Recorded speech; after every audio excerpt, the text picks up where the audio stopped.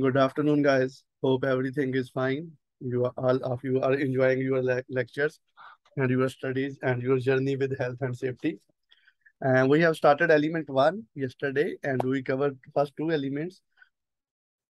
I just uh, re quickly revise the main items of first two elements, the first two units. One very important thing is roles and response uh, is uh, legals is the reasons for maintaining health and safety standards at workplace. And we discuss about three reasons, moral, legal, and financial reasons. That is very important question. And then other we discuss barriers to good standards, why good standards are not being followed. And also we have discussed what are the consequences if standards are not being implemented, what gone wrong, what will happen to the organizations. There are many, many problems type of cost, insured, uninsured, accident, direct cost, indirect cost. We discussed this one yesterday. So these two, three points are very valid as per exam point of view. Today we are going to learn about roles of national government and international bodies. So let's we continue our element 1.3. Here we will study about uh, ILO, this word ILO, International Labour Organization, it will be repeated now many times. So inter International Labour Organization, what is this? It's an agency of United Nations.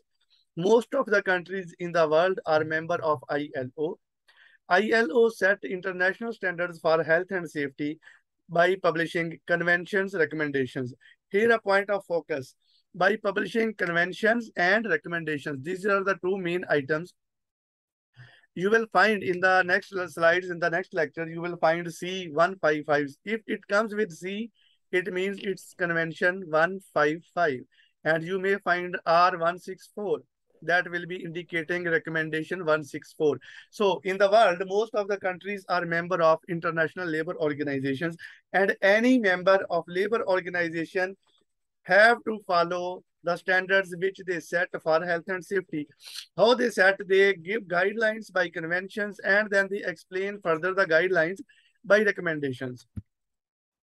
So international framework in, uh, as we discuss conventions and recommendations, in convention, they create binding obligations or policies to implement their provisions. No legal authority unless ratified by the members state into its own legal structure and recommendation provide guidance on policy, legislation, and practice. So in simple words, if I, I, I, explain in front of you, when they set a policy, they set some target and they give some responsibilities to employer, to employees in generic form, in general way that is coming in conventions.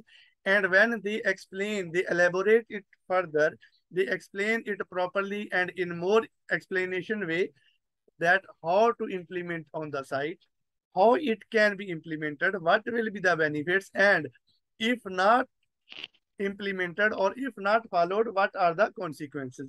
That is coming in recommendation. So if you find C155, it must come into your mind, it's convention 155. And if you have seen R164, it means it's recommendation 164. So examples are regulatory international framework.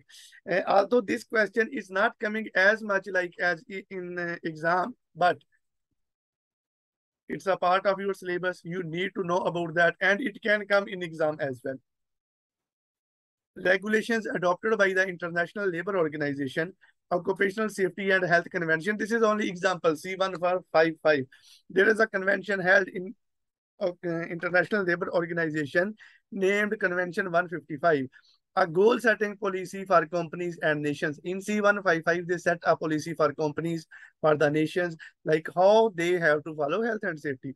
And then R164, which even happened in 1981, it supplements C155 and gives more guidance on how to comply with the policies. In C155, they develop and set and publish the policy as Convention 155 and in recommendation 164 or 164, they explain, they elaborate how it will be implemented. So employer's responsibility is also very valid point as per exam point of view as well. And also in the field when you guys started your uh, career in health, health and safety, you need to know about that. You have to uh, be adequate, aware about this. So Article 16 of 155 identifies obligations placed on employer to as we have discussed yesterday, the safety is responsibility of everyone, but ILO put more responsibility towards employer. They make the employer accountable for more items than the employees or than the managers. So we have discussed yesterday, the employer have to uh, ensure that the workplace machinery, equipment, and work process are safe and without risk to health. They have to ensure that chemicals, physical and biological substances and agents are without risk to health when protective measures have been taken. They need to ensure that they have provided protective clothing and equipment to prevent risk of accidents or adverse health effects. So I will explain these three points in front of you in some simple language for your better understanding. So the employer, the organization, it's the responsibility of the organization that they must provide safe place of work, safe plant and equipment. What is mean by safe plant and equipment means the plant and equipments are of good company, inspected properly, maintained properly. There is maintenance record. There is competent person who maintain and inspect this one and they have to give training to the workers like how to use these tools and equipments. For example, there is one machine known as excavator. Excavator is being used to dig. It's used to make the trenches and excavate the soil. But somehow what is happening, they are not inspected. There is no not appropriate lubrication the tools uh, and some parts are damaged. Maybe the mirrors, the glasses are damaged. The visibility is low because of not maintenance or improper cleaning or the cabin of the operator covered with the curtain. So many reasons. So this is the responsibility of the employer that they must find good equipment and then they have to ensure that the equipment is in a safe condition.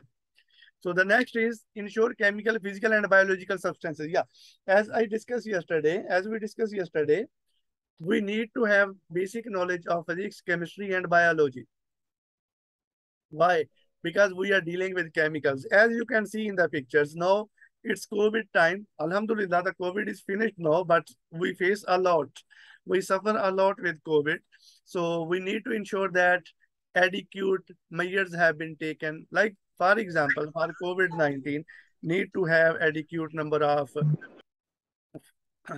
hand sanitizers, gloves, all other accessories like face masks, social distances. These are the responsibilities of the employer that they must educate his workers, his employees, and he must take appropriate provisions. Hello, everyone. Uh, yes, please. Hello, everyone. Hello, sir. How are you? Uh, I'm good. Hello. You cannot hear? Uh, no, no, I can hear. I can hear. Everything is clear. Yes. Please carry on. Sorry to disturb in the class. Uh, okay, no problem. So the other thing is provide adequate protective clothing, yeah, PPE, personal protective equipment and other tools and equipments to keep the personals and the individuals from health hazards or the risk to their health like hand gloves, head caps, eye protection, face protection, all these things, it's the responsibility of the employer to provide to the workers. Furthermore, provide and maintain workplace. Yeah, they need to ensure that the workplace is well maintained. They need to provide instructions, training, and supervision to the workers. What about instructions? Instructions means how to perform this job, the methodology to do a task. For example, in a uh, production unit of a construction field, there is a steel fabrication yard so the employer, they have to ensure that the supervisor or the site engineer or the responsible person have given adequate training to the workers how to unload, how to cut the steel, how to bend the steel, how to store the steel. All these instructions and trainings need to be given. And then the employer have to ensure that a competent person who is competent, who is having adequate or sufficient experience in the same field, he is supervising the workers so that he can inform the workers, he can educate the workers what they have to do. Then give necessary instructions, introduce organizational arrangements uh, arrangements relevant to activities and size of undertaking. Yeah, they need to ensure that everything in the perfect manner, whatever the size of the work and whatever the size of the uh, plant and equipment, tools, materials, everything they need to take care in the workplace in general manners. Provide PPE and clothing without charge. Yeah, employer's responsibility to provide free of cost PPE to the employees. I am here in UAE. In UAE, there is a federal law number 8. Federal law number 8 implemented on the employers that they need to provide personal protective equipment to the workers without any cost. Ensure that the work organizations, particularly working hours and rest breaks, does not adversely affect occupational safety and health. You need to give frequent breaks as per the work condition. If it's a confined space, maybe they need to have a break after 15 minutes. If it's a hot work, they need to have a break after 15 minutes as well.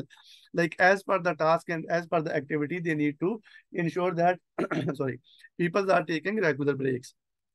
Take reasonable uh, practical measures with the view of eliminating excessive physical and mental fatigue. Yeah, they, they must not put too much work pressure on the workers. They must not give big tasks which cannot be done easily. So they need to take care and they need to keep update of scientific techniques and knowledge to comply with the above. Yeah, the scientific knowledge they need to update.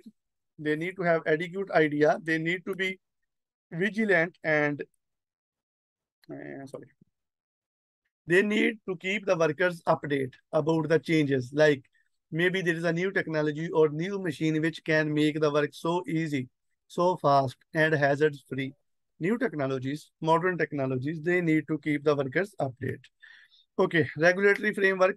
For example, ILO has also published conventions associated with specific hazard they published one convention named as C155 in 1960. It's about radiation protection.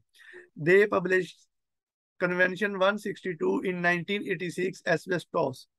So only in 1986, asbestos was identified as a health hazard. C167, health and safety in construction, it was published in 1988 what employer must provide? Safe place of work safe plant and equipment. We have discussed this many times already. Training supervision safe system of work. And what is competence? Competence is a knowledge is a combination of four words or four items. K for knowledge a for ability t for training and e for experience. Let's discuss it in more detail. What about knowledge? I am a trainer for NEBOSH so if I need to be a competent or if I am a competent, I must have knowledge about NEBOSH. Maybe I have knowledge about finance, but then I will not be competent for NEBOSH or for health and safety. Then ability, ability to deliver, ability to perform the task. What is ability? Ability means you have adequate strength, mental, physical, to perform that job training. You must have training about that job. Like if i am a trainer i must have adequate experience and training how to deliver the courses. For example i did one course train the trainers which give me training and IOSH gave me training that how I need to set a classroom, how I need to arrange with my student, how I need to let them understand what I am telling them. Then experience if I just pass my NEBOSH certification and I start giving training, it, it will not be beneficial. It will not be effective because I don't have experience about that. So once you have knowledge about specific task, ability to do that job, and training in the same aspect and experience of the same job. Previously, you have done some project and you have done work at height, means you have experience. Then only you can be a competent person. So this is the definition of competence. Here is a group activity apart from employees. Who else must employer protect? Yeah, the employer, he is responsible to protect his employees. But other than employees, who he need to protect? It's a very common question, very simple, but it need to be understand and it's an important question for exam also. Number one, the visitors.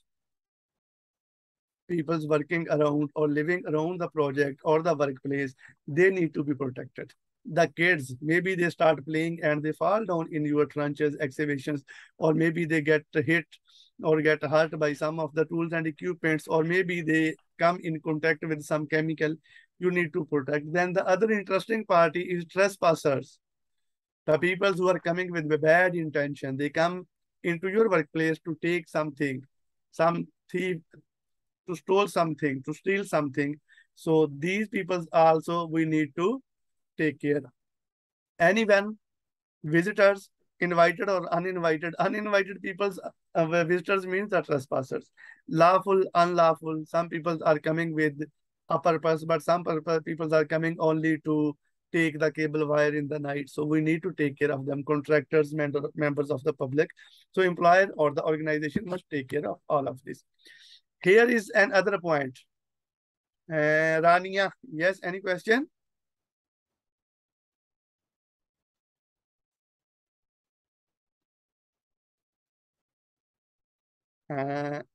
Uh, Rania, you are raising hand. Any question?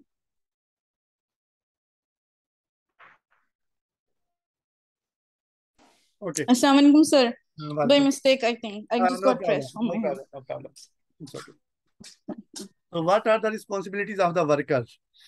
Let's explain it in detail and it will help you a lot in your field work. Article 19 of Convention 165 also replace also places obligations on workers.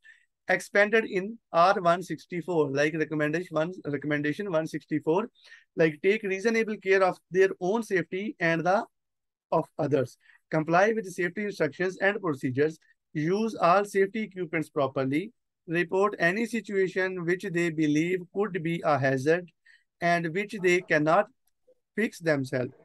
Report any work-related accident or ill health. So these are the basic responsibilities of the workers being a worker, I have to take care of myself. I must not do any act like I must not put fire anywhere. I must not use a tool which is unsafe. I must not use some chemical if I am not trained for that.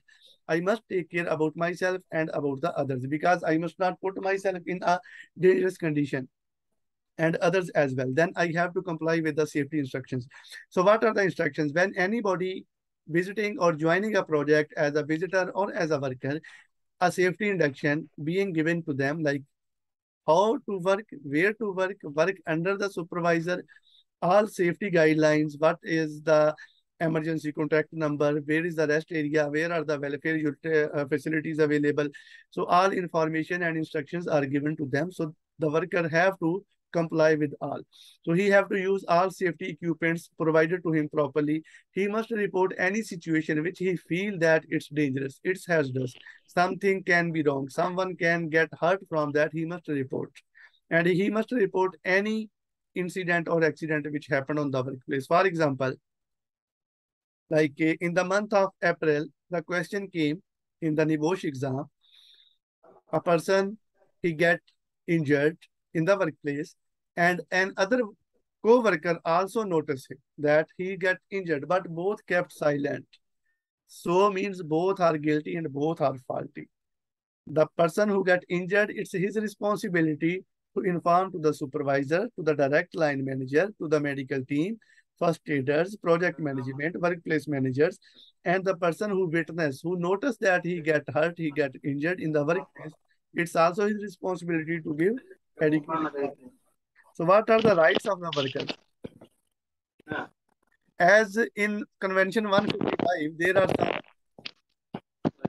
some responsibilities, there are some rights. Given adequate information on actions the employer has taken to ensure ah, safety and health. And guys, please mute your mic.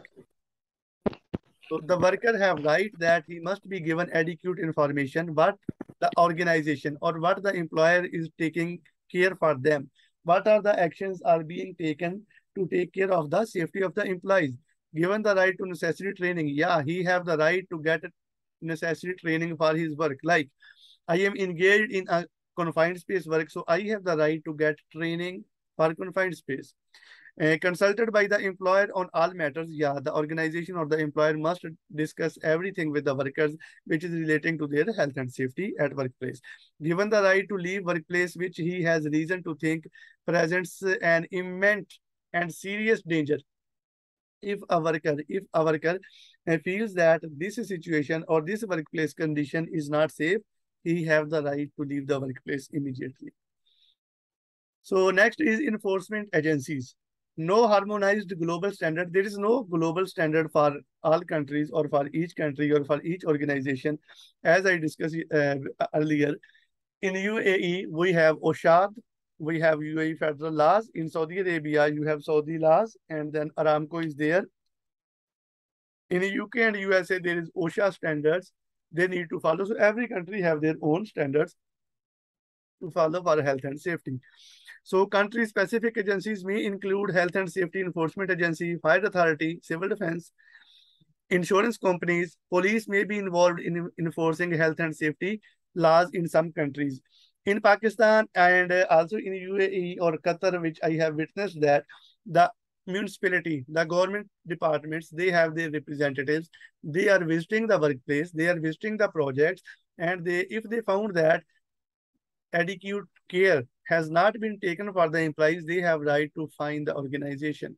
They have right to punish the organization. They have right to take back the project. So this is the role of enforcement agencies. It differs, it, it, it differs from country to country. Then uh, we have consequences of non-compliances breach of health and safety legislation is usually a criminal offense. Yeah. If someone bypass or breach the health and safety standard, it's a criminal act and it can lead to improvement or prohibition notice. Enforcement action are of two types. One is improvement. Like if it's something minor, it can be improved. So the organization or the relevant authority, they are giving or they are issuing an improvement notice to the organization. And if it's critical, it's life-threatening, it's much hazardous, what they will do, they will issue a prohibition notice and the workplace will be stopped, seized immediately. There should be no work in any case until the rectification and then the organization have to call for re-inspection. Once the authority representative inspect the workplace, then only he allowed to start the operation. So prosecution is organizations may be fined, yeah, as an action, they can fine the organization, they can ban the organization, and maybe they take someone to jail. If they found individuals are doing some big mistake, jail can be uh, recommended for them. So claim for compensations. Fault-based compensation system. This is a system which it's not relevant to our exam, but as a safety representative or as a safety professional, you must know about that. Workers bring claims against employer when someone get hurt, get injured, or any problem or any eh, illness eh, happen to a worker.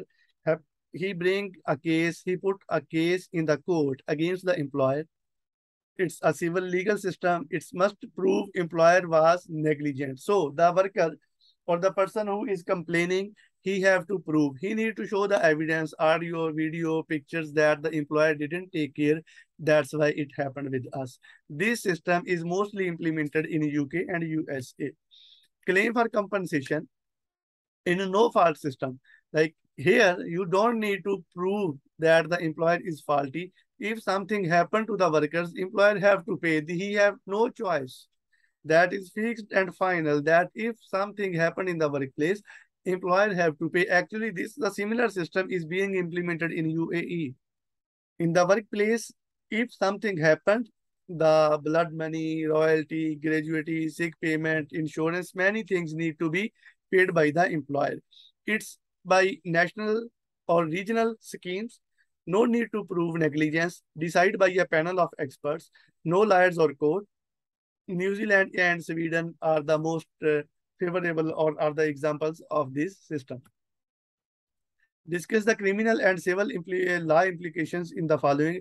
A technician escapes injury by diving under the bench when a vessel blows up and a result of design defect. Yeah, there is a design defect. The design of the vessel or design of the blower was not safe. It was designed in unsafe manners and a technician get hurt. So what will happen? So guys, these are the four points you need to read it. And uh, I recommend you to write down your answer and send me in WhatsApp. No need to send in group. You can send in group as well, but you can send in personal. If you feel that uh, your answer is not good and maybe some other one, someone will laugh on you, no need to think about that. You can send to me directly or just keep it prepared with you. It will help you a lot in your exam. Okay, other international standards. International Organization for Standardization, ISO 19001. They are dealing with quality management. It's an international standard. It's not a law. Just make your mind clear on that. This is a standard, ISO 9001. It's a standard which set the quality, how to deliver the quality products from the workplace or from the manufacturing unit, but it's not a law. ISO 14001 for environmental, ISO 20100 for safety of machinery, and ISO 45001, it's not mentioned here, it's for health and safety. It's like lead auditor for health and safety. He need to be certified from ISO in 45001. The standards are not law. They are good management practices or best industrial practices. So internationally recognized standard for health and safety, OHSAS 18001. Now there is no OHSAS 18001. This one has been replaced with ISO 45001. Uh, compatible with ISO 9001 and ISO 14001. Okay, source of information. When you are in the workplace or an organization, you are a worker, you are a manager, or you are employed. What are the source of observa uh, informations? One is internal, the other is external. What is the uh, internal? Accident records. In the organization, how many accidents happened in one year?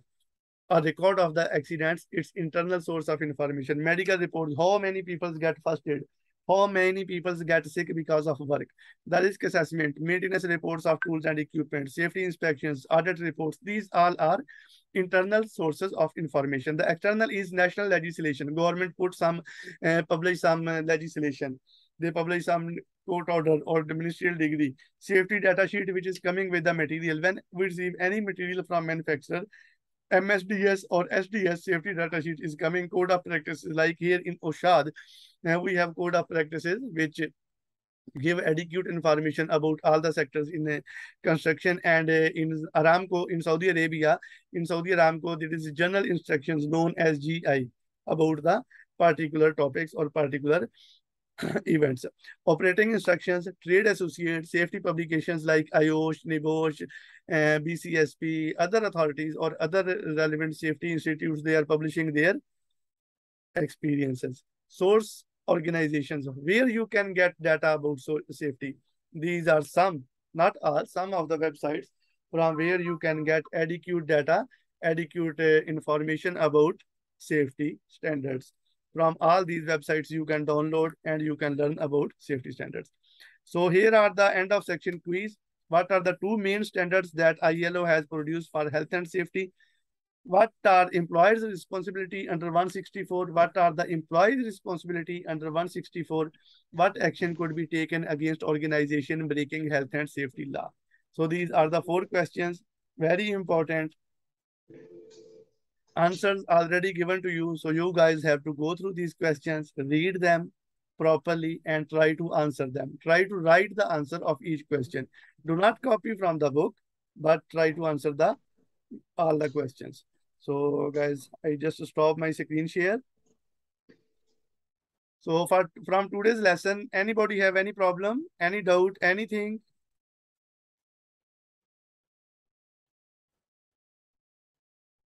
Everyone is silent. Clear, clear. okay, okay.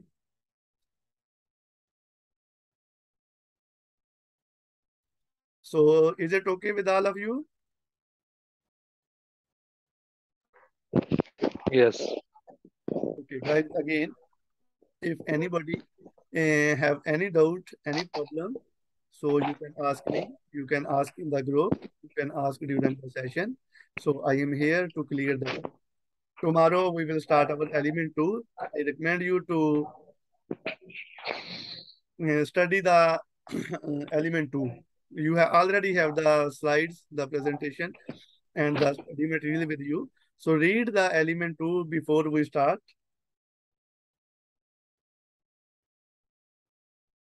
Uh, yes, uh, Rajawar Vakar. Yeah, you can ask during the session, no problem.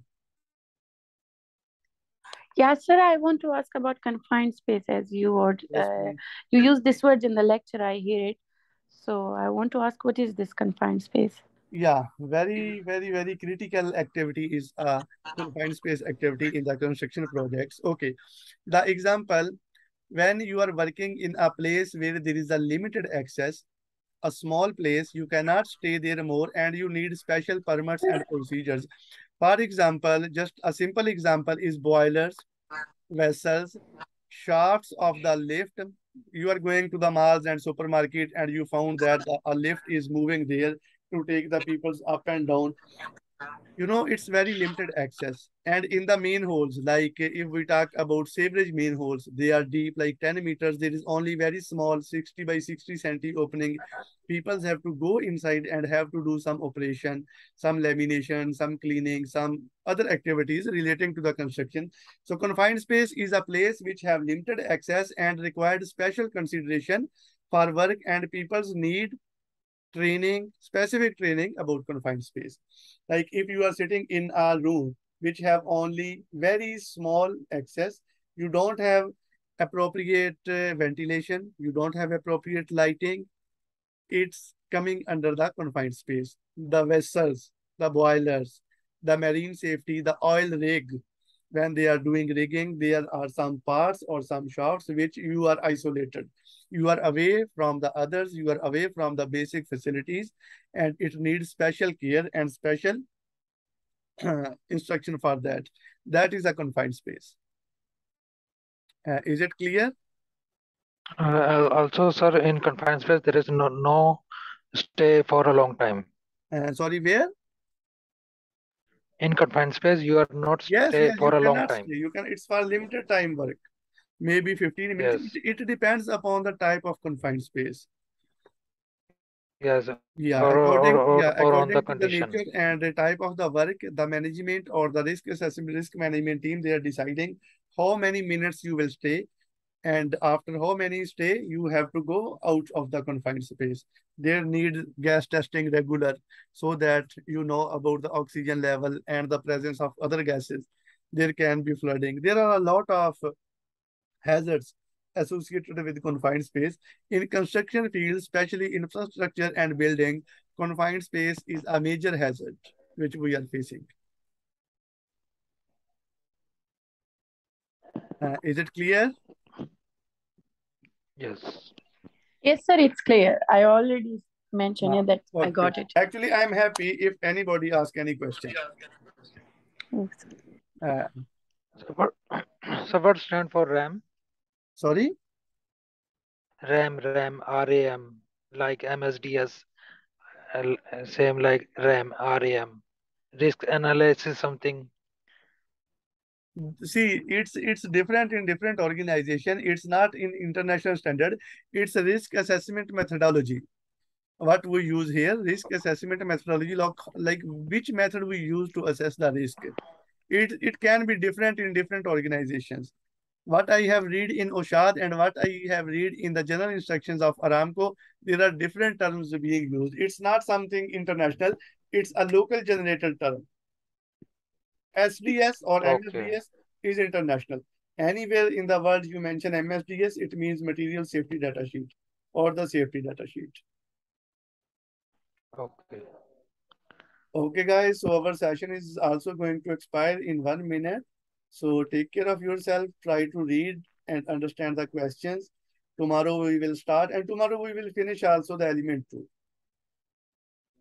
Best pray for me on Saturday. I have, I have interview as a safety supervisor. Ah, okay. Best of luck for your interview. Inshallah. Have a good day, guys. Take care. Bye bye. Okay. Assalamu alaikum.